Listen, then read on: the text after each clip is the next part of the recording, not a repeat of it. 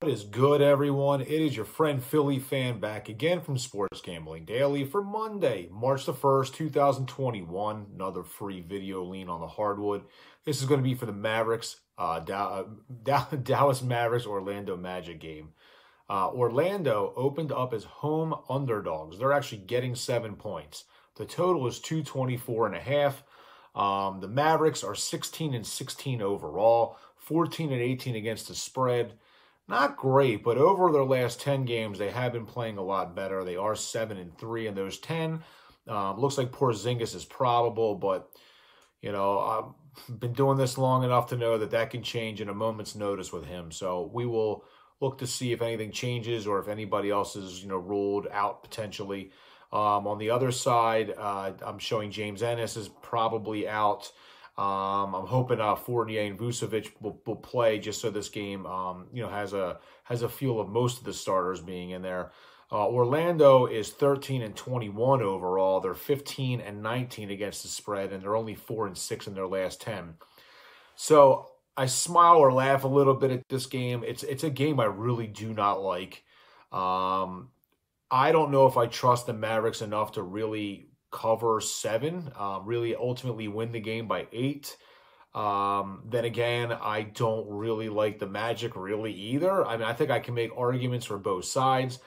A gun to head scenario, like I have to pick one. I'm, I guess I'm going to go Mavericks minus seven. I just think they have more scoring.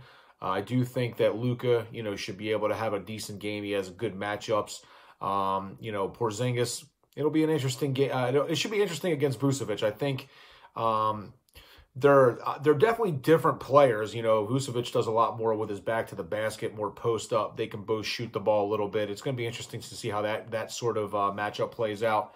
But um, you know, the Luka factor. You know, Hardaway if he gets hot, I like the way Jalen Brunson's been playing, uh, added to the starting lineup. So I just think that the Mavericks have more options. So therefore, I will lean Magic minus seven, but I don't really like the game enough to bet it. As a matter of fact, I don't really talk about this too much, but a strategy you could look at if you like the Mavericks is, you know, if you get an option of betting these games live, potentially seeing if maybe the Magic get up earlier, maybe they're leading at halftime or something like that, and you could get the Mavericks on the money line at a fair price, or you could get the Mavericks, uh, uh you know, against the spread at a, at a better than seven.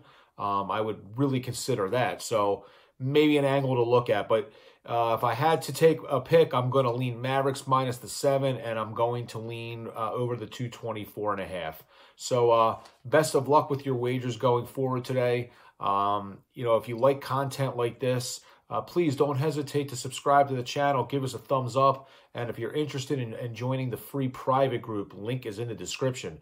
Uh, again, as your friend PhillyPhan from Monday, March the 1st, 2021. Thanks for checking us out. Peace.